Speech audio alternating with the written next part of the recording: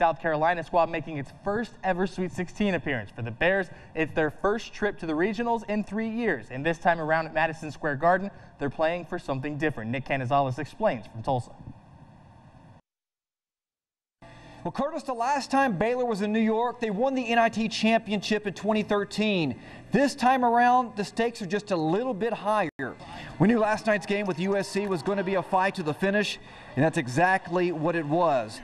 Bears would have to shoot a blistering 61% in the second half as Manu Lecomte came up big, scoring eight consecutive points late in the game to give Baylor the lead for good, and they would never look back.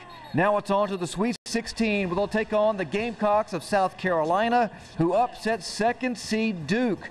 The players talked about what it means to them playing in Madison Square Garden.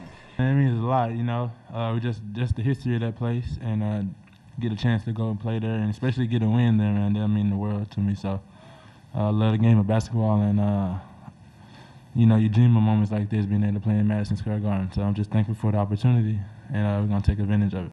Like J. Ma said, you you, you dream for a moment like that. Um, it's a huge blessing, uh, to, just to, to even play one game, and even better if we get the dub. So um, very thankful for it. And Baylor is now the highest seeded team remaining in the East region. Tip-off for that game on Friday is set for 629 local time. Reporting from the BOK Center in Tulsa, Nick Canizales, Channel 6 Sports. All right, thank you, Nick. When Baylor hired Matt